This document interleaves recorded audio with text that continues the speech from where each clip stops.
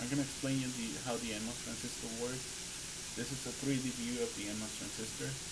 We have a width and we have a length. As an electrical engineer, what you want to do is play with the width so you can get different currents or um, different, depending on your circuit, you might want to change the width.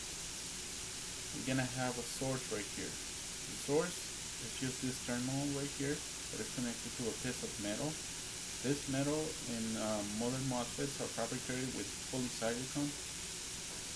We also have a gate right here that is connected to the metal. We have a drain. And as you can see right here, this white piece right here, it's an insulator. It's an oxide, silicon oxide. This is to prevent from all the electrons going through the p-type substrate, which is the body right here, because this is going to be heavily doped with positive charges. This is going to be the source region right here. It's going to be heavily doped with negative charges. We're going to have a channel region where all the electrons are going to accumulate. We have bulk right here. And we have a drain region, which is also heavily doped with negative charges. So what happens, this is a front view of the NMOS transistor. What happens when you don't apply any voltage to neither the gate the drain or the source. What you're gonna have is that you're gonna have two back-to-back -back diodes right here, as you can see right here, between the D region and the P-type substrate, and between the S region and the P-type substrate. You're not gonna have conduction, so nothing is gonna happen. So let's apply a small voltage on the gate. What's gonna happen is it's gonna fill this up with uh, positive charges they're not going to go through the, the insulator that is right here. And you have positive charges right here and negative charges in the p-type, substrate. What it's going to do is going to it's going to push these charges all the way to the bottom of the p-type substrate. It's going to attract the negative charges. We can see in this uh, animation. It's going to attract all the negative charges, but you also have negative charges on the uh, S region right here and on the D region, which are going to be attracted to. The transistor will be on once you reach a specific voltage. That um, once once you attract all these electrons, this is going to create a depletion region, which is going to be populated by the bound negative charge associated with the acceptor atoms. So all this right here is the depletion region. So in order to turn on the transistor, you have to apply a VGS that has to be greater than a specific voltage, which is called the threshold voltage. So you have to accumulate enough uh, positive charges right here so that you can attract as many negative charges. Once you reach the, the minimum threshold voltage, then the transistor is going to start conducting and you're going to have a flow of electrons. So let's say we apply a small VDS this is what's going to happen. You're going to have a conduction from the source to the drain of the current of the negative charges.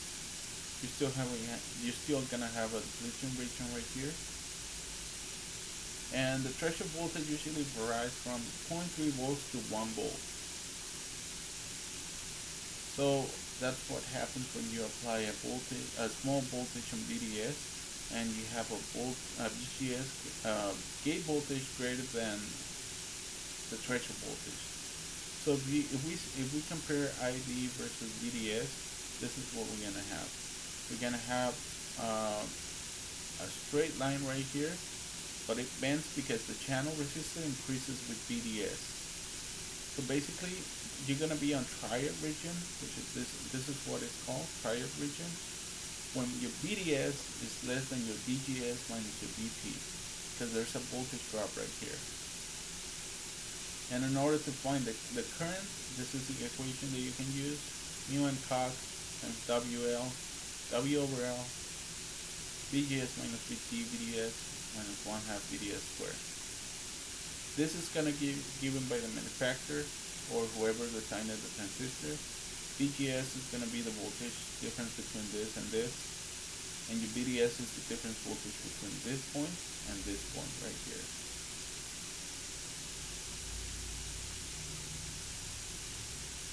That's how the current is going to flow with a low voltage in VDS. Now let's see, we apply, uh, we increase the voltage on VDS. What's going to happen is that uh, you're going to start going to saturation. And you're going to create a pinch off right here. This pinch off is going to limit the current that is going to go through the transistor. So you can't increase the current anymore. You're going to be saturated. As you can see, you're going to have, in an ideal transistor, you're going to have a straight line because the current is just limited. You can just go beyond that. That's an ideal transistor.